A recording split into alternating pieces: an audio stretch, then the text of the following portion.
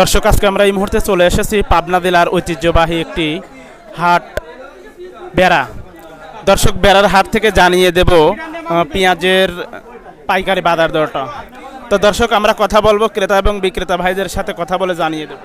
আসসালামু আলাইকুম। ওয়ালাইকুম আসসালাম। ক্রেতা ভাই কেমন আছেন? আল্লাহ রাখছে ভালো। কোন কোথা থেকে আসছেন হাটে ভাই? ইনাদপুর এডল বেড়ারাট আপনি ব্যাপারী ভাই না? হ্যাঁ হ্যাঁ হ্যাঁ। তো কয় মন পেঁয়াজ কিনছেন আজকে? আজকে পেঁয়াজ কিনছি তিরিশ মন। 30 মন? হ্যাঁ। আরও কিনবেন? আর কিনবো। কয় মনের টার্গেট আছে আজকে? এই মন আর দশ মন। 30-40 মণ। হ্যাঁ হ্যাঁ। আজকে পেঁয়াজের বাজার কেমন ঢাকাতে? আজকে পেঁয়াজ হইলেও মনে করেন যে নব্বই পঁচানব্বই। নব্বই পঁচানব্বই টাকা কেজি। হ্যাঁ হ্যাঁ। ঢাকার রেট হ্যাঁ। আর এখানে কত করে হ্যাঁ। ও আচ্ছা আচ্ছা। তো তাইলে আজকে সর্বোচ্চ হাটের মধ্যে সর্বোচ্চ ভালো পেঁয়াজ যেটা সেটা সর্বোচ্চ বাজার কত? চার হাজার। চার হাজার একবারে ভালো একদম ভালো একবার ভালো।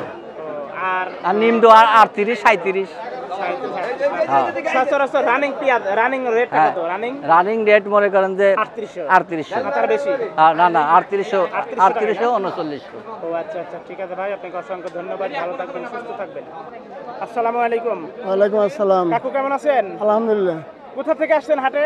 জামতৈল সিরাজগঞ্জ জামতল সিরাজগঞ্জ জামতল। না হ্যাঁ। আচ্ছা আচ্ছা। আজকে পেঁয়াজের কি অবস্থা কাকু? এই চার হাজার তেমন চার হাজার টাকা মন। হুম, আর বিয়াল্লিশ। সর্বোচ্চ সর্বোচ্চ নাকি? বিয়াল্লিশশো আছে। বিয়াল্লিশশো আছে?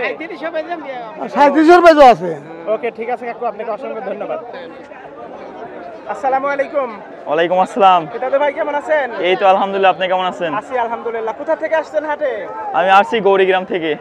গৌরীগ্রাম। হ্যাঁ সাথিয়া গৌরীগ্রাম থেকে। সাথিয়া গৌরীগ্রাম। আপনাদের ওখানে মনে হয় মেদানুর রহমান আধারে আসতেছে না? হ্যাঁ হ্যাঁ আসব ওই জায়গায়। ডেট হয়েছে কি ভাই?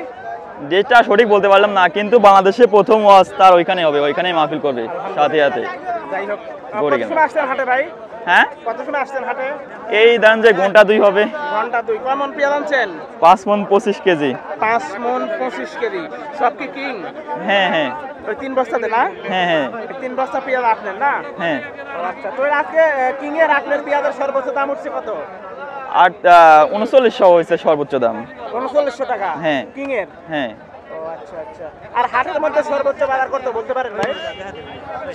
চার হাজার কি একচল্লিশশো চার হাজার একচল্লিশশো টাকা না? হ্যাঁ। আচ্ছা আচ্ছা। নাম কি জানেন ভাই আপনার? মোহাম্মদ জিহাদ হোসেন। জিহাদ হোসেন। কোন কোন গৌরীগ্রাম না? হ্যাঁ হ্যাঁ।